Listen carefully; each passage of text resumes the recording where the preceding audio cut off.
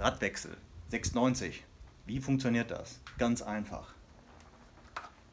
Diesen Kettenschutz einfach lösen, beiseite packen, dann Steckachse etwas raus, Platz schaffen, nach vorne schieben, Kette ab, okay. So, dann wird das Ganze rausgezogen.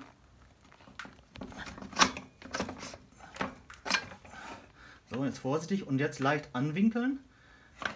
Oben links wegen dem Bremssattel. So, wo bewahrt man den auf, damit kein Dreck rankommt ans Fett? Ganz einfach, ab in Auspuff. So, gleiche einbauen. Schauen wir mal von der anderen Seite. Dann sieht man das nämlich besser. Also, Rad nicht gerade rein, funktioniert nicht hier. Bremsbeläge auseinanderhalten. Vorsichtig schräg einführen. Fuß drunter.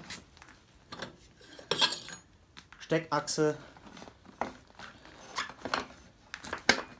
Steckachse durch. Auf der Seite austarieren. So, linke Seite dann wieder nach vorne. Kette drauf. Rumdrehen. Zack. Ein bisschen zu weit. Nochmal zurück. Zack. Andere Seite gleichen den Abstandhalter auch nochmal drauf. So. Und jetzt festdrehen, oder? Nein, noch nicht ganz festdrehen.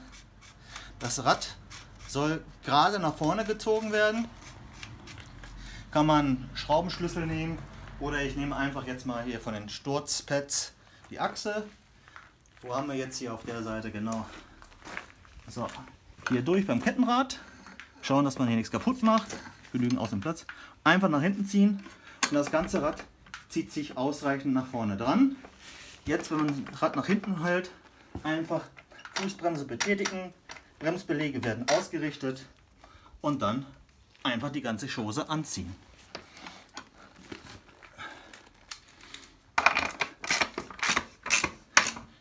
So. Zum Schluss kommt natürlich wie immer der Drehmomentschlüssel, Drehmomentschlüssel mit 90 Newtonmeter hinten, vorne 45 Newtonmeter. Das kann raus. Das war's schon. Wie gesagt, Teil wieder draufsetzen. Wo habe ich es? Da unten habe ich es hingetan. Ist ein T30, also Torx 30. Na, wo haben wir ihn jetzt? Nicht so hektisch und hektisch.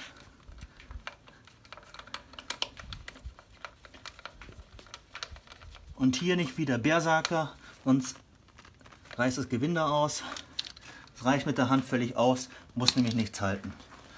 Jo, andere Seite, wie gesagt, kommt jetzt noch Drehmomentschlüssel mit 90 Newtonmeter und dann kommt wieder schön Sturzpads drauf, beidseitig und fertig ist die Laube. Viel Spaß!